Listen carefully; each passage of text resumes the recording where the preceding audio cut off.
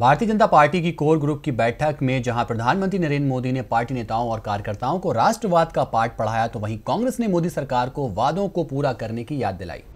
भाजपा राष्ट्रवाद के सहारे उत्तर प्रदेश और पंजाब के आगामी विधानसभा चुनाव में उतर सकती है। यह संकेत बीजेपी की कोर बैठक में खुद प्रधानमंत्री नरेंद्र मोदी ने दिए हैं।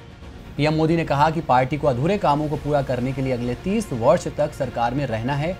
और इसलिए देश हित में चुनाव जीतना उनका राष्ट्रीय कर्तव्य है और आखिरकार पीएम मोदी ने पुरजोर शब्दों में कहा कि राष्ट्रवाद बीजेपी की पहचान है।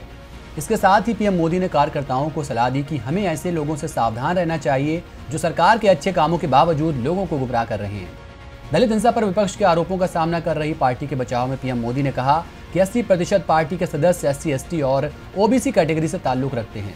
खुद को राष्ट्रवादी बताने वाली बीजेपी पर कांग्रेस के प्रवक्ता रणदीप सुरजेवाला ने निशाना साधते हुए कहा कि पीएम मोदी अपना लक्ष्य बदल रहे हैं। उनको चुनाव में जीत राष्ट्रवाद के लिए नहीं, बल्कि लोगों से किए वादे पर मिली थी, जो उन्होंने कभी पूरे नहीं किए हैं।